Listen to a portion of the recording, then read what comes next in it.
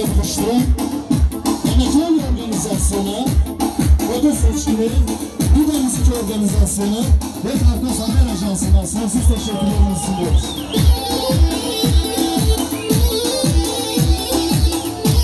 Evet, Orçun Bey'in tüm memnunların şerefine orkestramıza 200 lira sağ olsunlar olsunlar.